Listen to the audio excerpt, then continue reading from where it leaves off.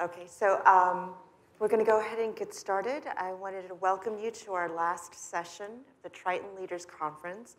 Hope that you've all been enjoying hearing about the different ways that we're battling health disparities and bringing up health equity. Thank you for staying late for this session. We're, on behalf of the panelists, myself, we're so excited to share with you a future project that's very exciting. It's the Hillcrest Medical Center today.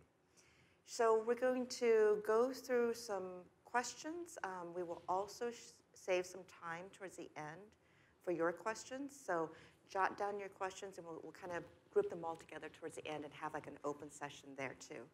So I'm Helen Liu. I'm the Executive Director of Development with Health Sciences. And um, I'm very, very privileged to have my colleagues here. They're really the ones who are deep into the, the, the I, I don't know, deep into the the weeds. Weeds, thank you, about what the Hillcrest Project is. And so without any more delay, I'm going to go ahead and get started. The first question that we're going to have is for David Mier. David is a Director of Health Community Relations at UC San Diego Health, and he leads the institution's strategic public engagement and community benefit initiatives. His key responsibilities include developing and implementing organizational plans for strategic community partnerships and advocacy initiatives, including several nationally recognized public health initiatives. So you can see why we've asked him to join our panel today. So David, um, the first question that I have for you is, can you share about UC San Diego Health's Hillcrest campus' unique role, including any specialty services offered that address health equity? Yeah, thank you for the question, Helen, and thank you again to everyone who's joining us today to hear more about this incredible and special and transformative project that we have at, um, taking place at the Hillcrest Medical Campus. Um, as Helen mentioned, um, I've had a lot of unique roles with the health system over the years, but um, more recently, I've been involved in the Hillcrest redevelopment um, community outreach and engagement um, process. And that's lent a lot of time and experience now working with the team and my incredible colleagues, taking our long range development plan out to the community, um, so that the community could actually get um, a good uh, bird's eye view of what's going to be taking place there. Um, and so I'll just do a little bit of table setting for those that may not be as familiar with our Hillcrest campus. It has a long legacy and wonderful history um, that is unique um, as a healthcare system and provider asset to the San Diego region. Um, just to start off, uh, we actually, it's, it's a pretty special story, but right around the mid 1960s, uh, the County of San Diego was going through this uh, process where uh, they were uh, evaluating how best to provide access and expand their clinical reach to the community. They operated one county hospital at the time, and so they were looking at a way um, where they could partner with other providers throughout the region and uh, to expand access and their um, status as a safety net provider. Um, at the same time, UC San Diego School of Medicine had just opened up, uh, and it was looking for um, a clinical teaching facility where they could expand their residency program and start to provide access to that, that core piece of our mission, which is to be an academic health institution and to start to um, you know, go about the business of teaching doctors um, in a clinical setting. so at the time, in, at, uh, we um, uh, got in touch with the county, and again, stars aligned and um, it turned out that they were looking to um, lease out or, um, uh, you know, basically find a, a, caretaker and provider to take over the Hillcrest Medical Campus. It was operating at the time as the only general hospital again. Um, and again, it met our needs as a school of medicine. So uh, again, stars aligned. We took over the operation of that facility and since then, we've uh, been uh, the clinical lead. The license has been under the UC Regents, and we've operated the Hillcrest Medical Center. Uh, since then, um, the campus has grown quite significantly. If we could go to my first slide.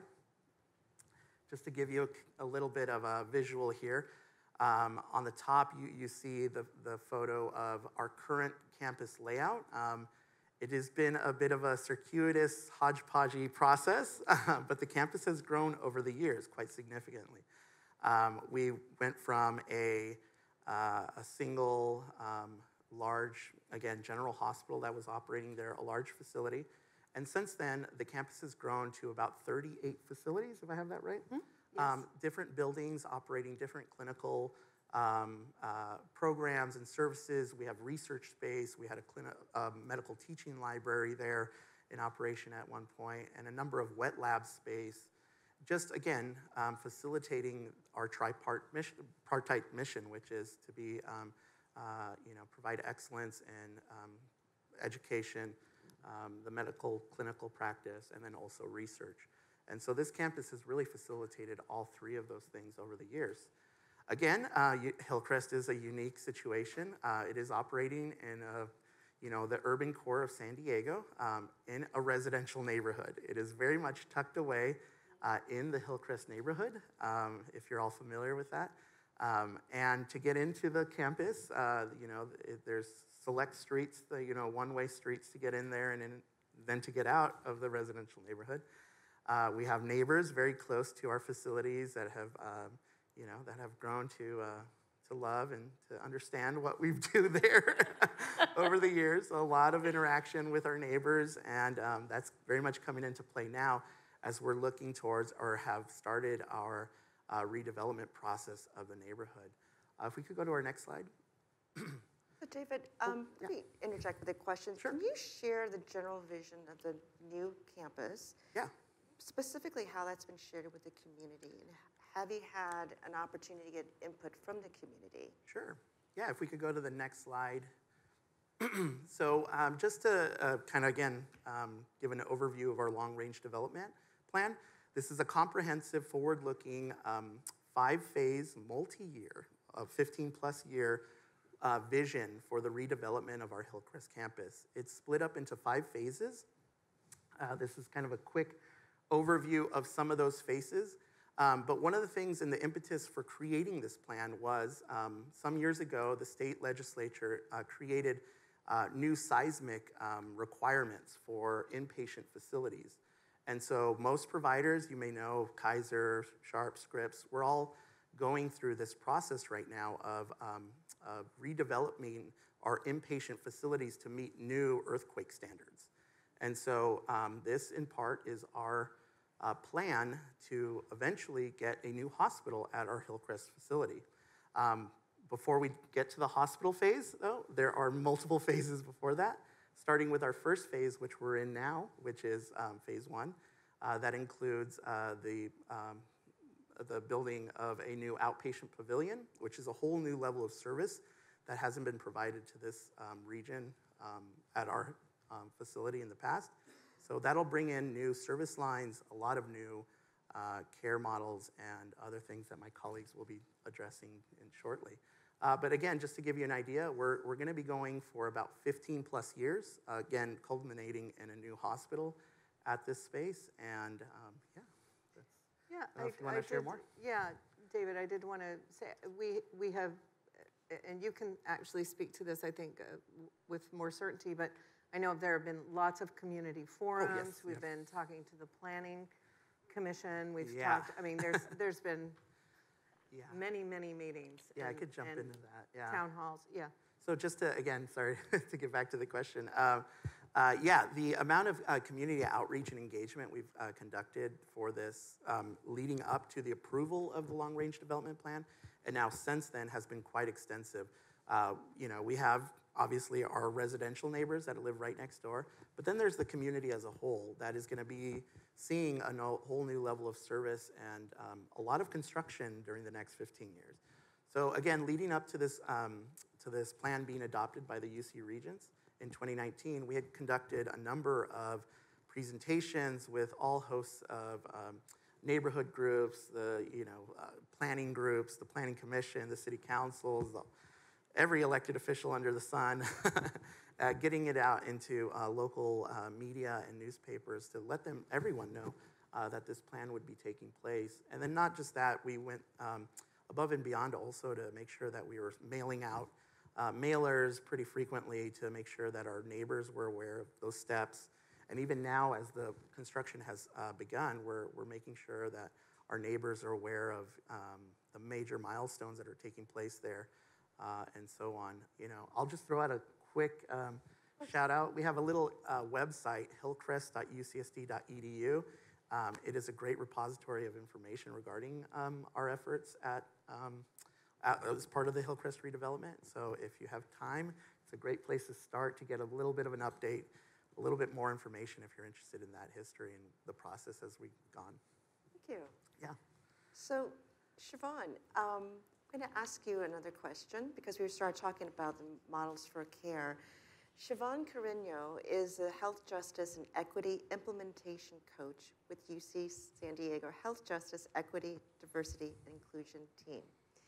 She is an anti racist healthcare leader with over 20 years of progressive experience in healthcare operations, promoting person centered equitable care and clinical excellence with a successful track record of leading highly engaged and cohesive teams. Welcome, Shivon. So, um, kind of piggybacking on one of the topics that David touched upon, Shivon, I'm wondering if you can talk about this. Recent market analysis shows 67% of the almost 700,000 residents living south of the I-8 here in San Diego, they live with chronic conditions and diseases. How will the future Hillcrest Medical Campus address this? Thank you so much. I actually began my um, entire career in Hillcrest. I was in Hillcrest for 10 years, and so it holds a special place in my heart. Um, this um, campus that we're, we're looking towards in the future in, in phases um, will really provide accessibility for those patients, right, dealing with chronic disease, whether it's neurological disease, which is my specialty, or others.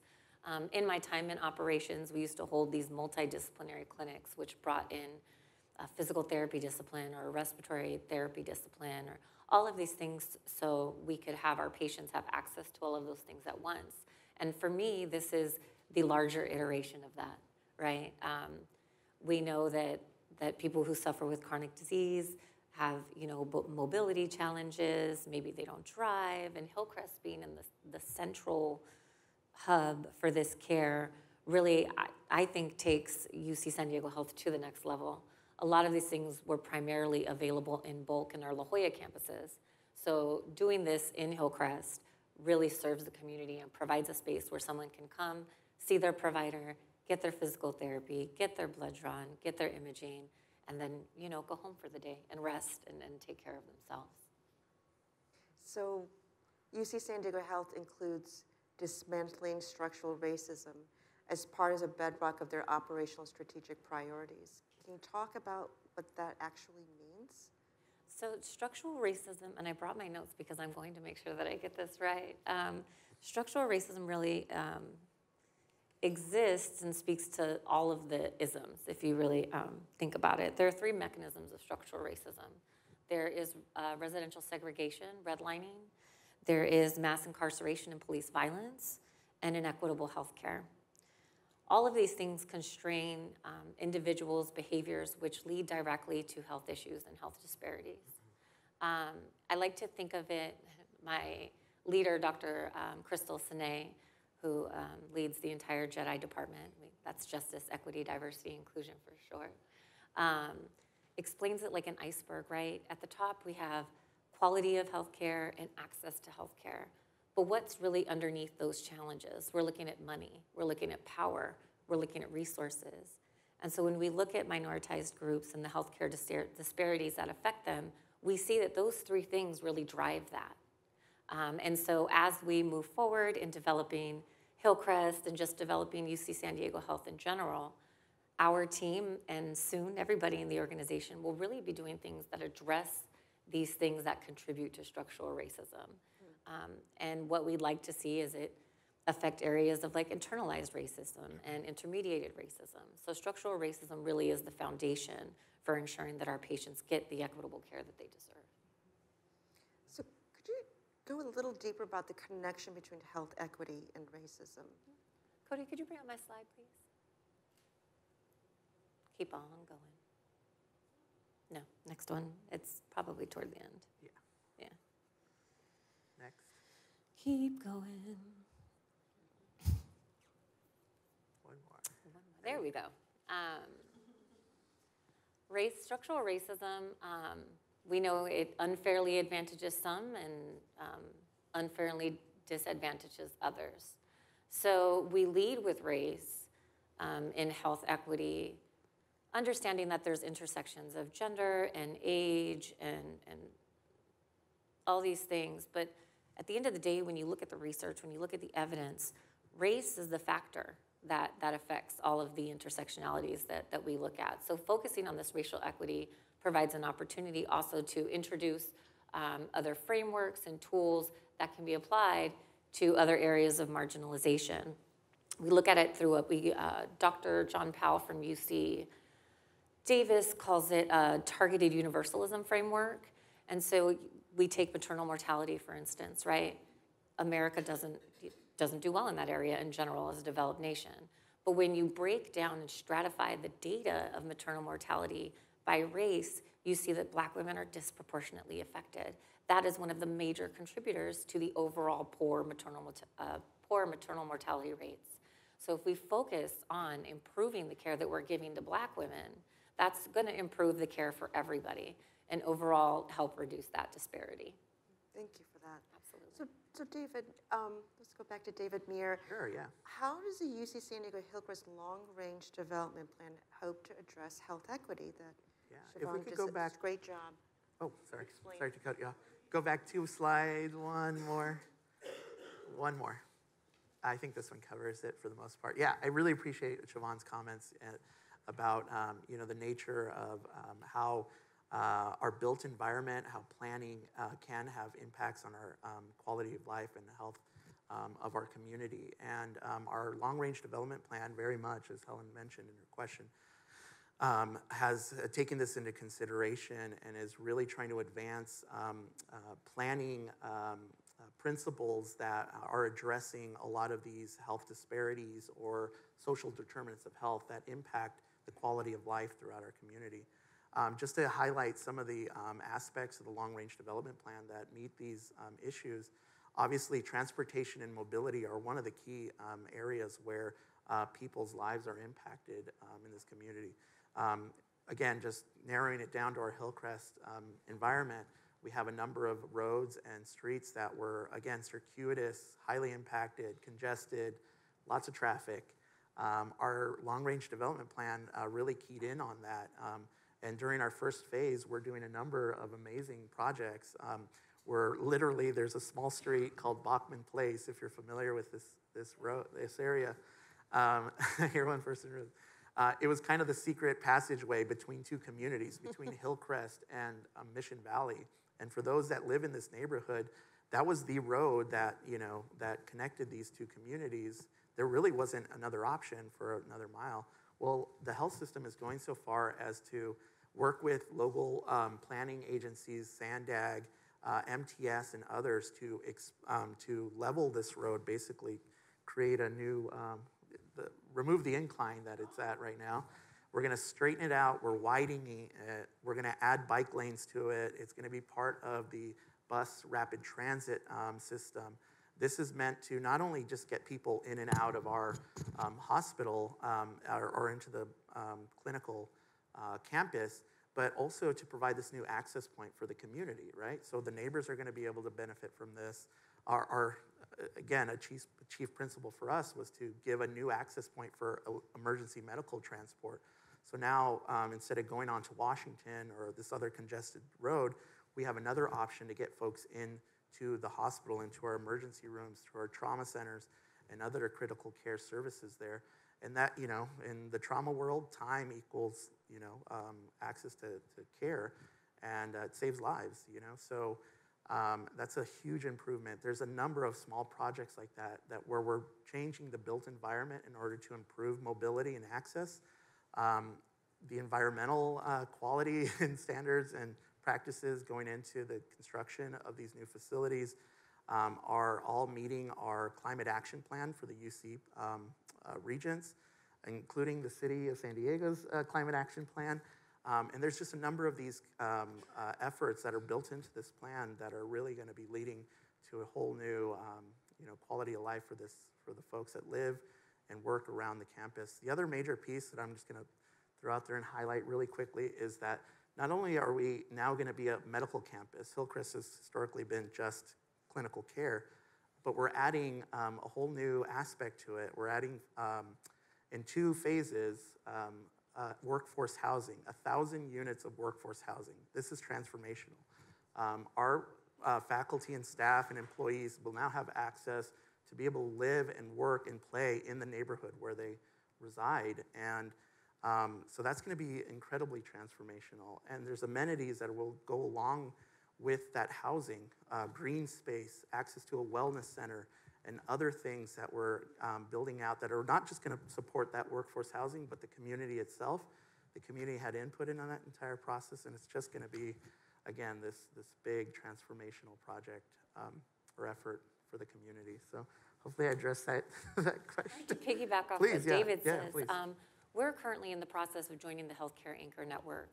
And the commitment with the Healthcare Anchor Network is really to invest in the economic sustainability of the communities we serve. And so this really just does align very well with that. There are going to be plenty of employment opportunities, like you said, the housing, the sustainability piece. So it's really in alignment. I always love to see that when we're doing things in alignment and um, will really help us as we continue on our journey to becoming a healthcare anchor network. And may I just, I want to jump in on this long-range development plan.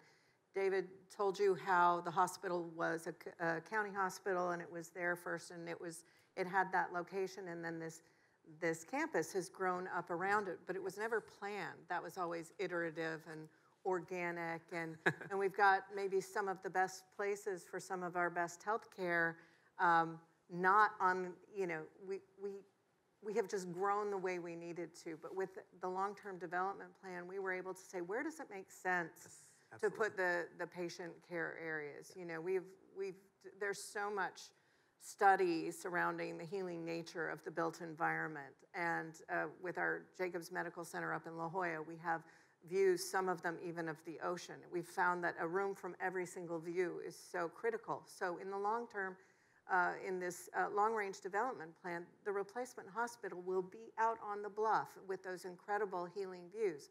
We didn't have an opportunity to do that the, the way we have now. And so, David, you mentioned there are 38 buildings. When we're done with this, only two of the remain of, of the original 38 buildings will still be standing. And um, they're buildings that needed to come down. They're not seismically uh, uh, appropriate. Some were old houses or apartments that people had turned into offices. So, uh, you know, I'm always one about renovating rather than raising. But uh, these, what that does give us the opportunity to do is create that open space, which is available for the entire community and the wellness center at the front door of the community. And um, we wouldn't have been able to do that if we wouldn't have taken this absolute holistic view of the site, which is a remarkable site. I'll talk a little bit more about how constrained it is and, and what challenges we've had with that and the opportunities that come with that. But it's, we we're where we are now because we were, we started with a building and we grew out from that. And now we're planning it with all of that involvement from the community. And We're, we really, it's gonna be something very special. Yes. Yeah, So that was Kristin Hill. Oh. Senior Director of Facilities Planning and Health Campus Development. Um, She has over 20 years in facilities design, construction, planning for professional experience, um, especially with healthcare ser- services. I, I would think that this project is probably so exciting that, like you said, it's not renovation. You really are starting with a cart, you know, with a um, blank canvas there. Yes. And I know that you're going to show some schematics a little bit later, and um, that'll be very exciting to kind of show this audience what it looks like. But Da- David, you know, I saw um, while we were scrolling through some of the slides, Sure, yeah, sorry. there was some there was something about maybe Medi-Cal or some of the community benefit that we Yeah, uh, um, provide. right there. And I think this would be a nice one just to kind of show, um, tying into what Kristin was just talking about, providing with every population. Um, so yeah, Shivon could add to this as well because uh, she may be more familiar with. Um, what you're seeing here on the screen in this slide is a snapshot of um, not only our um, it's the Medi-Cal coverage per system um, uh, as a percentage of our market share. So depending on how large the system, you know, Sharp is probably the largest. Uh, Scripps comes in a second. We we represent about 15 or plus percentage of the market share. But um, given that, um, what this slide shows is that um, although we have a smaller uh, size, we, um, by our proportion, still provide more care to the Medi-Cal population in this county. Um, it just goes towards our mission of providing care and access to all San Diegans, regardless of their payer status, their insurance model. And again, it's a commitment to the underserved in their, our communities to be able to continue this um, model. A majority of this um, care comes in different forms, you know, but um, a lot of this care is provided at our Hillcrest Medical Center. Um, and um, so again, it's just pointing to this, um, to this history and this legacy of the medical center being a, a true asset for the region um, to all populations, including our Medi-Cal population. It really does. Yeah, no, David, you captured it, it wonderfully. A lot of time, or in the past, at UC San Diego Health, a lot of the more advanced um, treatments and things have been located on our La Jolla campus, and this brings it central again to the community, and it makes it accessible. Many people who of our underserved, underinsured populations may not have cars, may not um, be able to make it to La Jolla.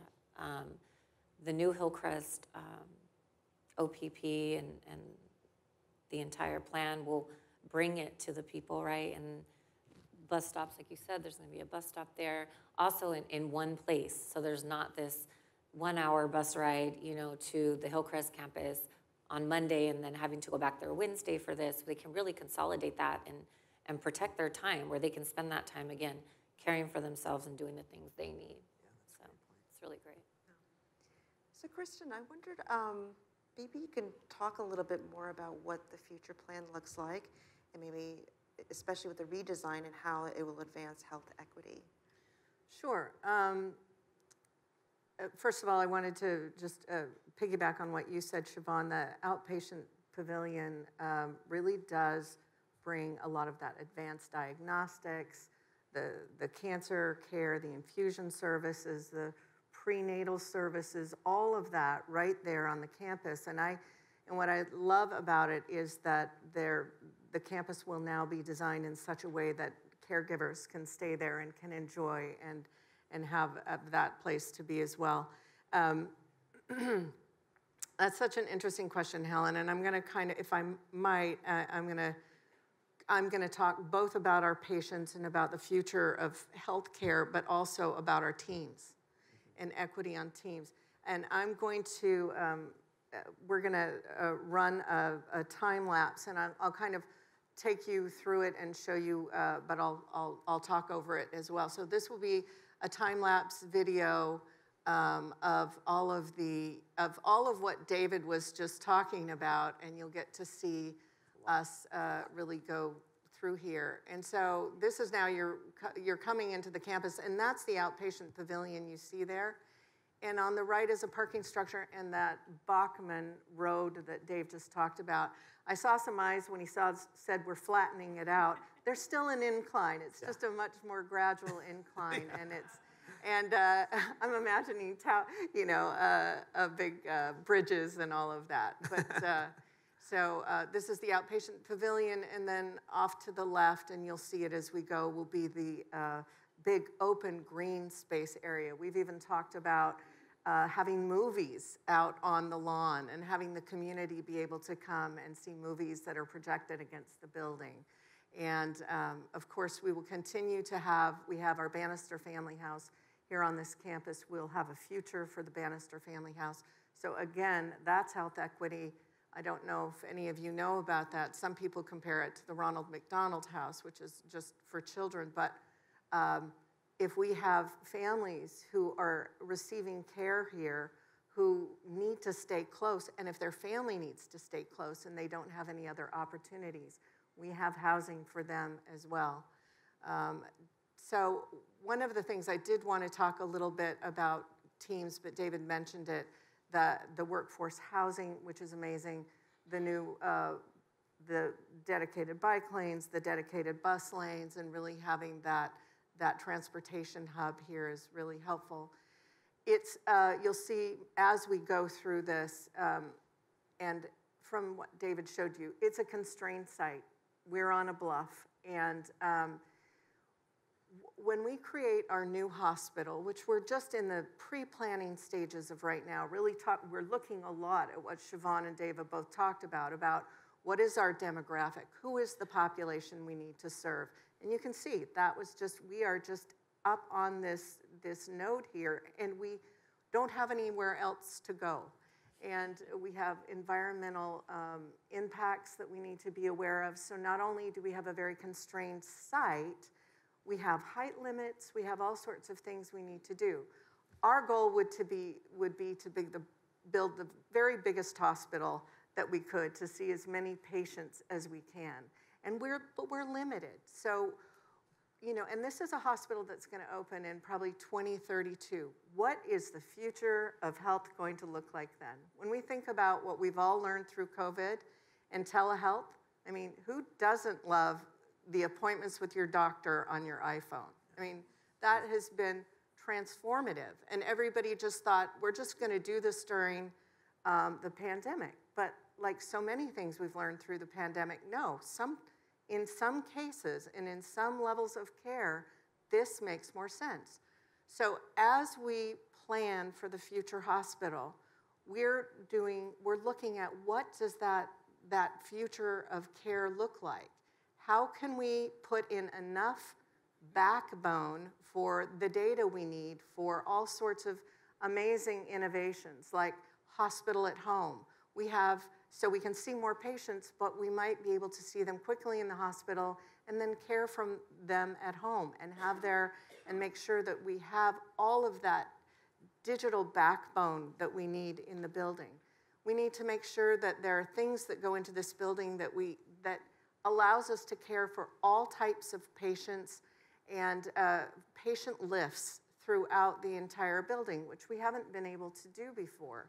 And that is not only uh, allows us to care for all types of patients uh, with all sorts of mobility issues, but also saves our staff and makes that healthier for our staff as well. Um, the one other thing that I think um, I wanted to talk about that, that you don't usually think of, I just talked about things we need to make sure go into the hospital. But we have an opportunity to look at what doesn't have to be in the hospital. And we have, you know, uh, 100 years of hospital design of how we do things a certain way. Uh, we have uh, all of our supplies in our storehouse there. We uh, clean our linens on house. Uh, we uh, have a very large blood bank, which we need to if we do certain kind of clinical cases. We have uh, sterile processing department that manages all of the ORs, when in fact, you really only need to have sterile processing in some new regulations for three ORs at a time. So we're trying to look very strategically at what doesn't have to go in the hospital because anything that doesn't have to go in the hospital that we can put somewhere else creates more space for more patient rooms, more ORs, more advanced diagnostics. So we're and, and the, the really interesting part of that is it has to go somewhere, right? So we, we can look at where that needs to go out in the community. So now suddenly we're talking about the possibility of having a distribution center for all of our supplies or, or an offsite sterile processing department, or we already do a lot of this with, with our lab. And we get to take a look at our demographic, not just our patient demographic, but our staff demographic because there's, there's equity, there's uh, inclusion that we need to think about that.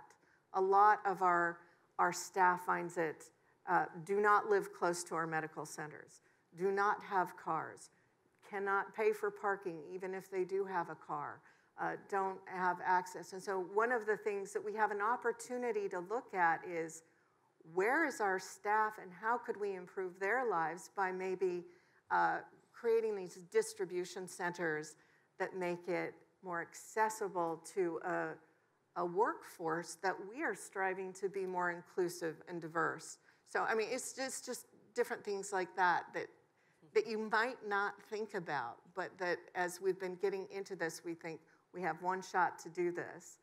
Let's make this as impactful to as many of our, our stakeholders as possible. And, you know, we can't see patients without our team members, and, and, and their wellness is critical. I hope that answered your That question. certainly does. Okay, Thank sorry, it's a little Um, long-winded, but, yeah. You know, Kristin and I were talking a few days ago, and it it was Kristin who actually brought to my attention that we also need to provide the same kind of care and well-thought planning for our team members. Yeah, Um, absolutely. Because we're such a large employer here. Do, do we know approximately how many team members we have in addition to our doctors? Oh, it's over 7,000. Yeah, Over yeah. Yeah, thousands. it's That's huge. a lot of For lives and families so. impacted. And I just loved hearing from the role that you sit, Kristin, that you know that our leadership is looking at that as well. It's very Absolutely.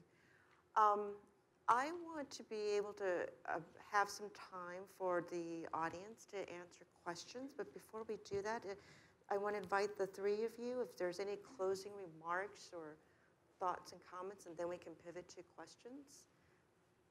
I About can Hillcrest. start off. I'm going to really just again, you know, if, if you have an interest in this um, effort, this process, as again, we have these websites. I'll, I'll say it again: hillcrest.ucsd.edu. There, there's a mechanism there where you can um, email us. There, all of the contact information. If you'd like to continue to learn more, or be engaged in this process, we'd love to, to continue to share this information with you as this plan continues to roll out as we move on to other phases. David, there's also um, a new form of communication that we're creating. Yeah, too. I'll, I'll, I'll Yeah. shout it out right now too. Yeah. Um, we're putting together a community newsletter as well. It'll be a quarterly newsletter for the community and for our internal um, audiences, um, so our patients and for our um, employees. And um, so if you'd like to sign up for that, um, for that newsletter, again, go to that website. We'll have more information on how to sign up there. Uh, and uh, we'll, we'll be, yeah. So the, that that newsletter will have like maybe construction updates. construction updates. It'll have uh, spotlights and highlights about the construction process, uh, about um, specific uh, milestones that are taking place as part of the project, and then some highlights about some of the clinical services that we're going to be rolling out there. So it'll be a good, a good source of information as this moves forward. Yeah, and I just again thank you for your interest in this effort. Of course. Shivon? Thank you so much for um, your time listening to us today. And just be on the lookout. Our team is newly formed on the UC San Diego Health side, and we look forward to really being in community and working with our communities to make sure our staff and our patients are, are treated equitably and are getting the care um, that they deserve. So see more of us. You will see more. Um, Yes, thank you for your time. I am so excited to have been able to be part of the health equity discussion as an, as an architect and a design professional and builder. It's, you, you don't automatically think that you have a role in, in this space. And I'm here to share that our institution takes this so seriously um, uh, about infusing this level of uh, access and equity into everything we do. I've not only been given the opportunity to do this, but been given the mandate to do this. And in every request for proposal I put, uh, I always put in uh, JEDI uh, requirements. I always ask people to say, what are their uh, companies doing to make a difference in this in this environment and in this uh, in this goal.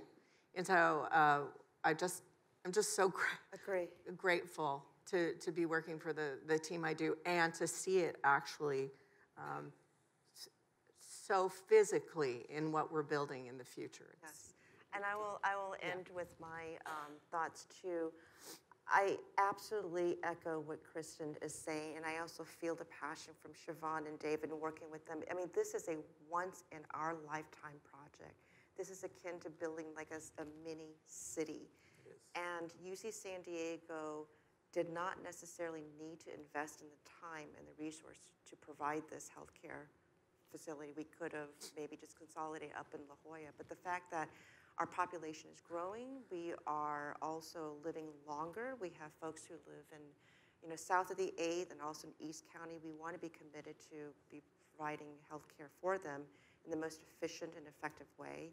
And the fact that we are the region's only academic medical center. And with that comes the research, both wet lab, both clinical trials. It also comes with the education that only just sort of cross-pollinates for the healthcare and the delivery of to be at a better, at a higher standard. It, it just is. I'm so pleased that we're going to be part of it. And I invite anybody, um, we're going to go into questions. I, I saw your hand. Um, but anybody who has questions afterwards, if you don't have time, please find any one of us. And um, I think I saw that this woman had raised her hand first, and we'll go to you next, sir. Thank you. So first, I want to say more than a question, just I want to applaud um, the intentionality and the, um, the commitment to inclusivity. And everyone that I see on the stage, um, if you're representative of the people that are involved in this project, I'm really excited um, to see what's happening. Um, I appreciate hearing the right language um, when we start talking about inclusivity.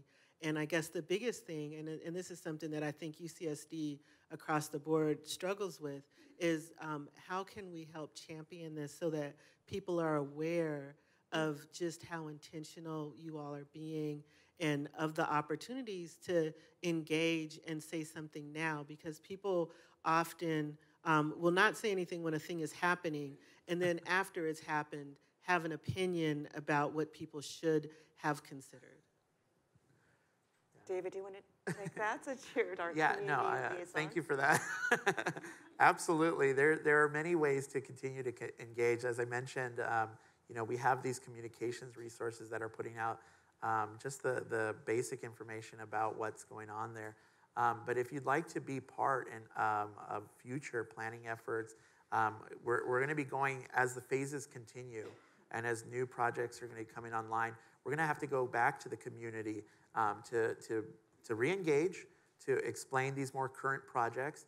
And there will be these public comment periods, these mandatory things, but then we do more than that, right? We go out and ask for public input. And it's at those stages where not just our neighbors get to, you know, what they want to see on a local level, but on a regional level, if you are still interested in making sure that this asset is um, doing a certain thing or you want to put in a certain level uh, of input, uh, it will be at those opportunities where your voice will speak the loudest, I think. And so, again, continue to, um, to look at those communications uh, that we're going to be putting out. Um, it's there where we're going to put out like the, you know, call to action to come and give us your input. And at any time, you could always email us with input. Um, and those are the easiest ways. And again, hillcrest.ucsd.edu. I'm going to keep flashing that. Um, it, yeah, it, includes uh, it includes uh, I you know I, my uh, kind of vanity email URL there or um, email there that you could send feedback to my department or to the planning team directly or to our environmental planners who are, who are thinking more about kind of the built environment around the you know the canyon side and those aspects to the projects. And um, and then just the the regular impact the day to day for the neighbors you know hey there's too much noise or dust or whatever it is we have those feedback mechanisms as well. So they're all listed there on that website and yeah i really implore you guys if, if you're interested in continuing to share your voice to, to really look at that as an option Great. We have this gentleman next. Yes? Uh, Two questions, one of which is very quick. At one time, I heard there was a hospital built on the La Jolla campus called Thornton Hospital. and then I never heard a word about it for well over 10 years, and then Jacobs Hospital was built. Did Jacobs absorb Thornton Hospital? And the second question, which is a diversity and inclusion question, I have heard that the issues and challenges extend to the nature of the interaction between doctors and patients. That people in marginalized groups suffer from a lack of understanding, lack of empathy, and even shorter time allocated to visits. That last point, I don't think it's intentional in terms of how the schedule's put together, but somehow it seems, so I've heard, that it works that way. And I imagine that issues of this kind apply to any hospital anywhere, not just this one. But is that something that you uh, address in the, your approach to those issues? I'll just answer the, the Thornton Pavilion question. Yes, Thornton Hospital is uh, still there. It's, uh, it, it is attached, it's contiguous to the Jacobs Medical Center. Uh, it- The Jacobs Medical Center includes both the hospital, and we have specialty hospitals in there, and the Thornton Pavilion. But the Thornton Pavilion is still there, has all of the ORs, and it's, as I said, it's contiguous, and you, in, the ORs are connected to the other ORs, so it is still there, very much still there. Thank you for your question. Um, Our Health Jedi team is about a year old. We just grew from three members to two. Um, But one of the things we recognize is we need to look at home first. We have dedication to making care equitable for our patients and also for our team members at work. Um, And so there is a lot of work happening now, um, really aimed at leadership and providers to A, provide education, right? And provide a safe space for them to ask questions that maybe they wouldn't ask otherwise. And to really, um, to really bake in equity. And in baking in equity, there's a lot of change management that goes with that. Um, but yeah, so our first leg of our strategic framework really is to, to look at home and make sure the people that are providing this care are educated and understand um, the impact of inequity um, and the reality of inequity when, when treating our patients and working with our teams. Thank Can I say one more thing about that too? Is uh, our hiring uh, practices now uh, are very, uh, we're very focused on this in our hiring practices. It is. And so as we hire a more diverse uh, caregiving population, innately that's going to come along with it. And then we all, we are all involved in this training that, uh, and, and the opportunity to, for uh, better understanding. Yes, absolutely with the equity piece Yeah. in our workforce. And even, even to speaking to that, we still don't take for granted that an equitable workforce understands really what diversity is, really what inclusion is, really what um, belonging is. And so it's, it's education, it's boots on the ground. That's one of my, my roles is to really get into the areas and chat with people and form these relationships so they can ask the questions they need and continue to develop. Yeah, thank you, Kristin. Great question. One more question, okay? Thank you. Uh, to my Jedi on the panel, Yes. um, a lot, I work with a lot of our students that obviously have a more traditional science background and an interest in medicine, but they realize that their passion is related to social justice and giving attention to equity. And so, my question to you is Is your job title or role something that's common for most hospital systems? Or is it something that's pretty innovative and new? It's innovative and new, um, and I've been in the role for about a month, but I've been doing some of the work um, since 2020, um, when we were actually really given the go to really talk about what systemic racism does in healthcare. Um, so my role is very new. Our team is very new, um, and we are working with the consulting group and working together. We're hiring on a community engagement strategist to help us reach out to the community. So, if I could bother you for a super mini informational interview, what advice would you give to students that have an interest in impacting healthcare equity through more of a social justice lens as opposed to a medical treatment lens? If you could maybe share some advice. Find your allies. That's what I did. Um, I did a lot of work in the community bef- um, outside of my like official job title, and really struggled for a while to find those resources in health for social justice. Um, and so I eventually was like, you just have to start asking people. You have to start having these conversations. In these conversations, you find your allies, you find the like minded people who want to do the work with you. And then it's very grassroots, right? You organize and you, and you take those things and you organize together and really find a way to, to implement them on a bigger level and really have social justice be at the heart of it. We did it with our Health Disparities and Inequities Task Force. That didn't exist before COVID. But we recognized during COVID, um, it really you know, ripped the Band-Aid off of all the um, disparities that already existed. So it was a very grassroots organizing. It was folks from pharmacy, it was folks from, you know, surgeons and staff. And so we really took the social justice work to heart and, and organized and, and took it from a grassroots perspective, at least in health. And I think people can do that anywhere they are, right? Thanks. Sorry to prevent you from moving forward, Cheryl. We're good. I appreciate your question. There was a Thank you. question right here. Did you see, Yes, or, or um, or are we done? With that, uh, Okay. we're going to stay behind um, to answer any additional questions. Our time has run out for this public question. Will you please join me in thanking our panelists, um, David Mier, Shivon Carreño, and Kristin Hill. Thank you for your you guys for time. Thank you for your interest. And I think we've got AVC Cheryl Harrelson is going to take the mic next. Thank you. Thank you. Great job, guys. Great job. Good afternoon, and I want to say to my Hillcrest colleagues here, um, I have used the facilities at Hillcrest, been treated by doctors. It is the same quality of healthcare that it is in La Jolla, you know. So it, it is great community facility, but it is still UC San Diego. So best known in the community. I thank all of you all for being here today and for uh, giving us this information. I hope for everyone, uh, this has been as much of an enlightening day uh, for you as it has been for me. I'm Cheryl Harrelson. I'm the Associate Vice Chancellor for Alumni, uh, Career Services, and a few other units uh, in my area.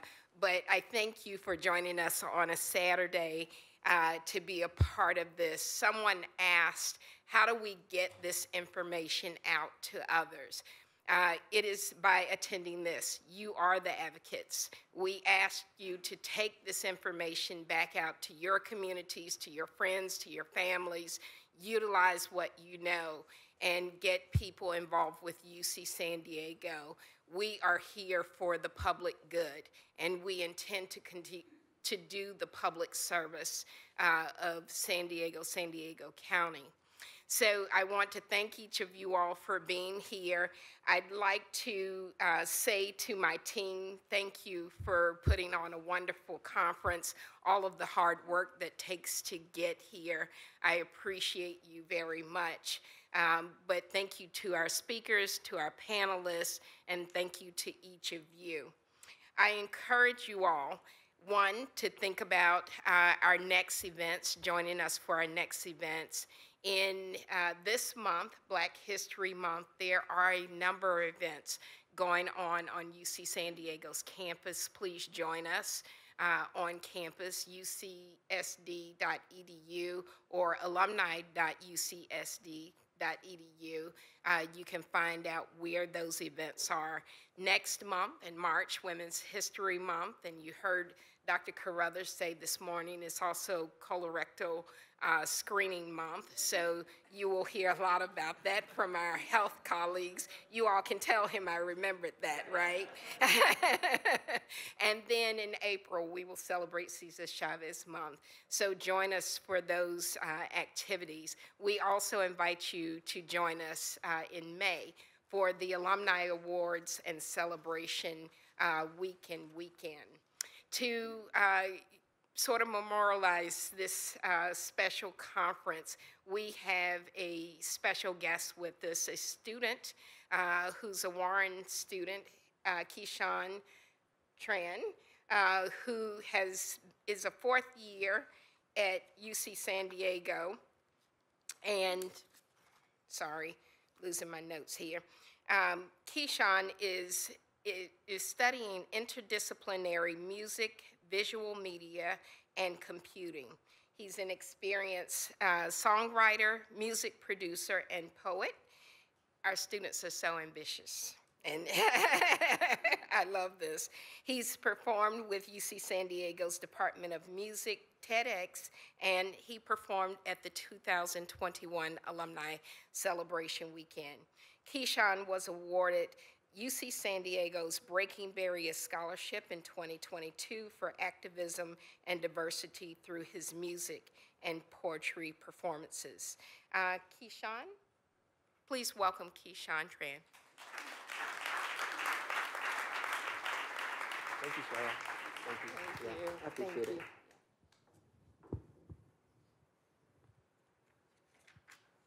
Okay, everyone.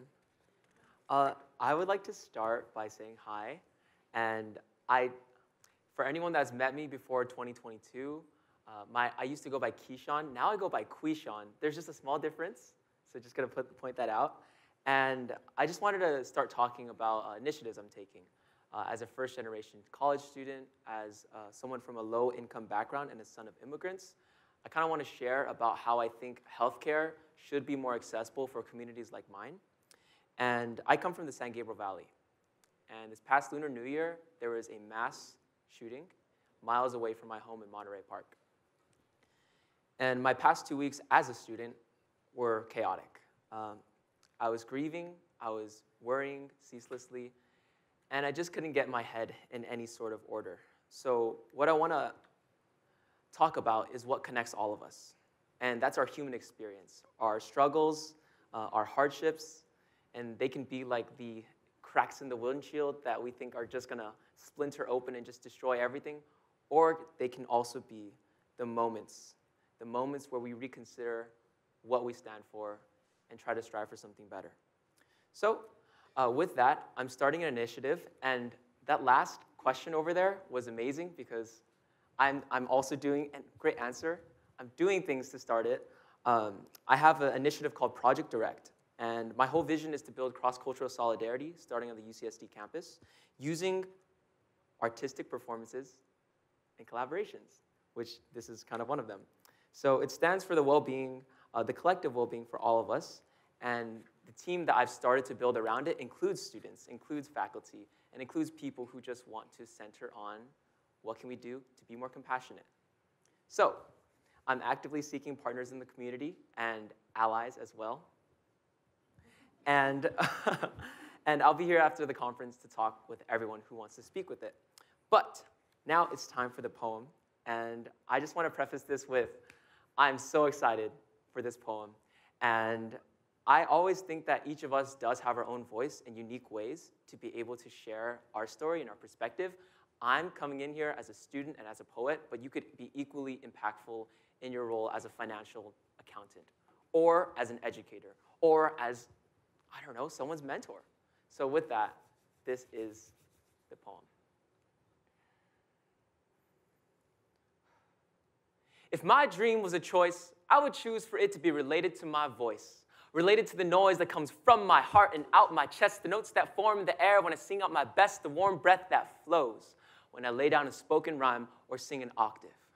I can already feel the verbal vocalizations. The verdict is against all violations. I broke through all my limitations. The notes, the passages, the self critic evaluations. I choose to see the best in others and in me. And that belief shines through every side of me. I radiate good vibes on my unique frequency, and it's personal as my fingerprint or my SSID. It's my inimitable pull and gravity. And we all have it inside of ourselves to achieve our highest ideals, even when we're dancing with our silliest insecurities. I used to have self esteem issues being a short guy. But now I realize that giants are made up in our minds. And if I keep growing and keep showing up, it's only a matter of time until I tower over my fears and leave them all behind. When I look at myself in the mirror, I'll see myself clearer the enthusiastic believer, the optimistic fever of which I'm a receiver and transmitter in every single form I'm giving and loving in a cycle of brand new and newly torn. I fit into my body like a well worn hoodie. I sing a melody like 88 keys. I generate energy like a laser light beam, and I manifest the magic of kindness and giving and giving and giving. And isn't it crazy to think that time is not linear? Yesterday, I was doubting myself. Today, I'm seeing the better half of the man in the mirror. And the good in you and me, it's more. It's more than just half. It's more like exponential on an infinite graph. The love is so overflowing, it popped the cap. We celebrate like champagne bubbly on a victory lap. And me, I'm just swimming in it. Swimming in that self respect, swimming in that present moment, swimming in the I'm gonna make a change even if I don't know exactly how yet. I'm diving through the waters with my O2 tank. I got, I got oxygen, optimism, and a whole lot of thanks from my mom, from my dad, and everyone in my corner along the way. I'm looking at my reflection, redefining my voice using a mission with me, myself, and I to thank.